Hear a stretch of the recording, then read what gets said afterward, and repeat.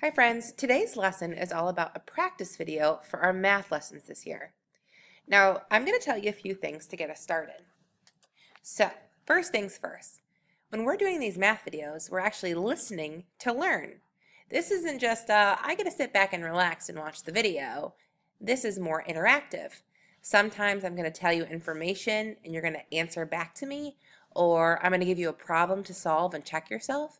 So we really want to make sure that we're listening and paying attention to the video. All right?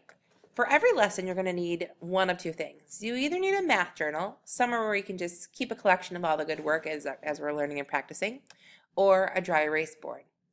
With your dry erase board, of course, you're going to need your marker. You want to make sure that you pause when I say to pause in the video and press play when you're ready. It's not a race to get through the video. We're all doing all of our good learning. Okay? And of course, make sure you have a nice quiet spot away from anyone else so you can focus on your good work. All right, so this is how it's going to work. Today we're going to talk about my favorite food. Now, I love pizza and I love tacos. I mean, who doesn't like pizza and tacos? They're delicious. Do you agree? All right, so right now I want you to guess. If I just had to pick one food, would I pick pizza or taco? Oh man, I don't know. This is a hard decision because I love them both. I'm going to have you go ahead and take a good guess. Now, either in your math journal or on your dry erase board, I want you to write down one word. Which one do you think is my absolute, absolute favorite? Pizza or taco? Go ahead and press pause while you write down the word and then press play to check yourself. Okay, friends, you should have written down either pizza or taco on your board. Did you do it? Okay. Now, I know sometimes we think, I'm just going to think the answer in my head. No, no, no, no.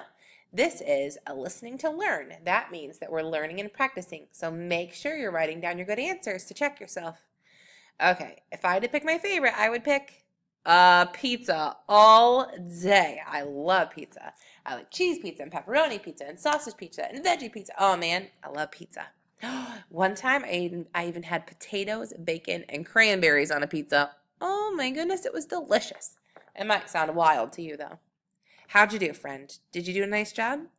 I mean, if you said taco, don't worry about it. They're delicious too.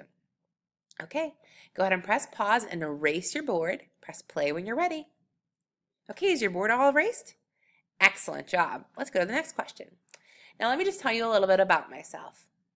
I love the color blue, and if I had to pick one animal that I could own as a pet, I'd pick a sea otter. Oh my goodness, aren't they so cute? I love them. Their little faces and their little hands. So that's a little bit about me. Now I want to know about you. Your assignment today is to tell me your favorite color and what animal would you choose for a pet if you could pick any animal in the entire world. All right, what I would like you to do is I want you to write down those good answers either in your math journal or um, on a dry erase board. Then I want you to take a picture of it and I want you to send it to me on Seesaw. All right. Good luck, friends. I can't wait to see how you do. Good job practicing.